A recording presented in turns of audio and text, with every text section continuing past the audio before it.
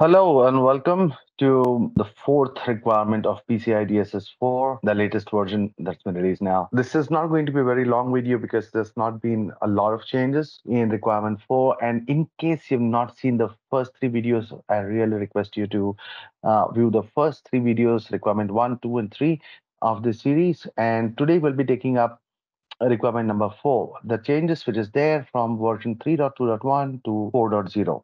And before we head out to that, I really encourage you to click on the subscribe button. I'm sure you subscribe, but if not, this is the right time for it. Click on the subscribe button, click on the bell icon so you get notified. We put up new content very, very frequently. Uh, do drop in your comments, whether it is positive, negative, whatever, give your feedback. We'd love to take it up and learn as to how we can improve and do better. All right, so moving right ahead into requirement number four of summary of changes from version 3.2.1 to 4.0. Well, you see in requirement 4 for version, the requirement was called as encrypt transmission of cardholder data across open public networks.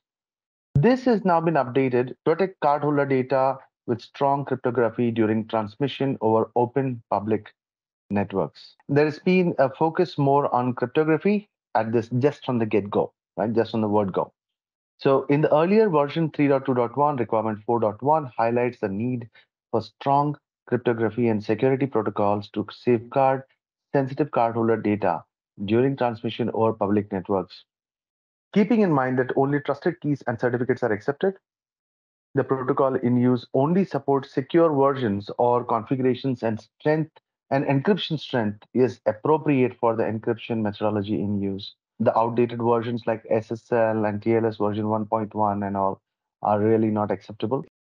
In PCI DSS 3.2.1, uh, requirement number 4.1.1, it talks about identifying of all the wireless networks transmitting cardholder data or connected to the cardholder data environment and verifying whether the industry best practices are used for implementing strong encryption of for authentication and transmission of card data.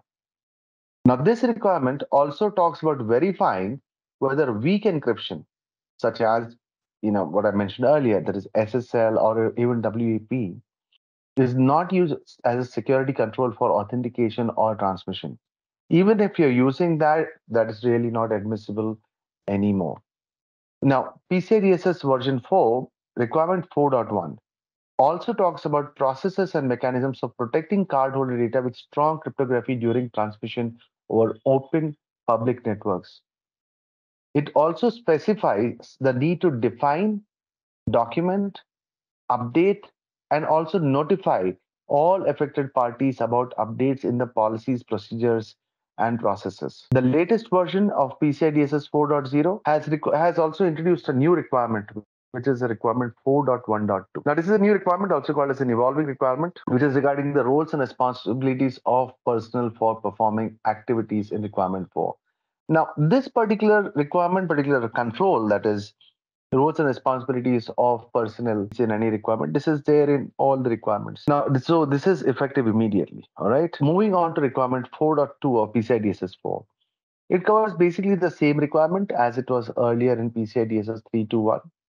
But requirement 4.2 has highlighted the need for PAN details to be rendered unreadable or secured with strong cryptography whenever it is sent via end user messaging technologies. Now, in my opinion, it is even if it is encrypting, it looks bad for your company. If you're sending card data using end user messaging technologies like, say, Microsoft Teams or Slack or hope not WhatsApp types, it doesn't look good for you. Figure out something better for sending something as sensitive as card data. But again, that sending is not banned, but if you're sending it, it has to be via uh, strong cryptography to be used. There is an additional requirement, 4.2.1, which highlights the need to confirm that certificates used for PAN transmissions over public networks are valid and not expired or revoked.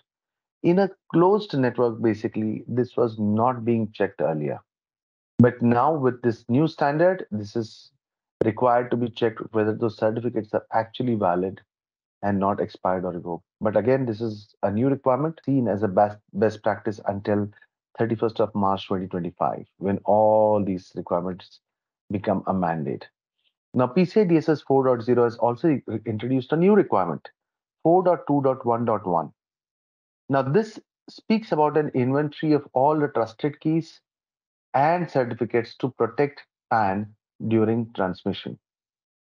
Now, again, this is not uh, this is a best practice until March 31st, 2025. Now, similar to what is uh, covered in requirement 4.2 and requirement 4.3 in PCI DSS 3.2.1, PCI 4 requirement 4.2.1.2 talks about examining system configuration to verify that wireless networks transmitting PAN are connected to the card data environment uses industry best practices to implement strong cryptography for authentication and transmission. What's being said is that, in short, if I make this simple, it's speaking about hardening your wireless configuration, especially from the authentication and transmission, as per industry best practices. So finally, PCI DSS 4, that is requirement 4.2, talks about examining documented policies and procedures to verify that the processes are defined to secure PAN with strong cryptography whenever sent over end user messaging technologies.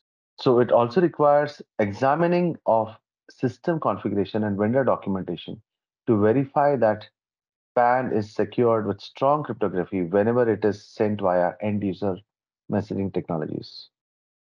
So new changes or changes to version 4. As you can see, these are the description of changes for version 4 this version uh, that is requirement 4.1.2, requirement 4.2.1, and 4.2.1.1.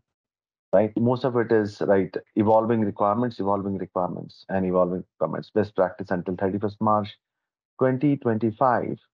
But uh, 4.1.2, remember the new requirement for roles and responsibilities is immediate. It cannot be deferred for 31st of March 2025. So with this, we end requirement four because there's, as I said, nothing much to do. Changes in requirement four, whatever is there is of course important. So hope this, I really hope this video was useful for you and clears all your doubts with regards to requirement four. We'll shortly be releasing the videos of 5, 6, 7, 8, 9, 10, 11, 12. Do wait up for that for requirement 5, which should be released in a week or so. So stay tuned for that. Should you have any queries, do drop us a line on ask us at vistainfosec.com and we'll be more than happy to help you. Thank you again and have a wonderful day ahead. Bye bye.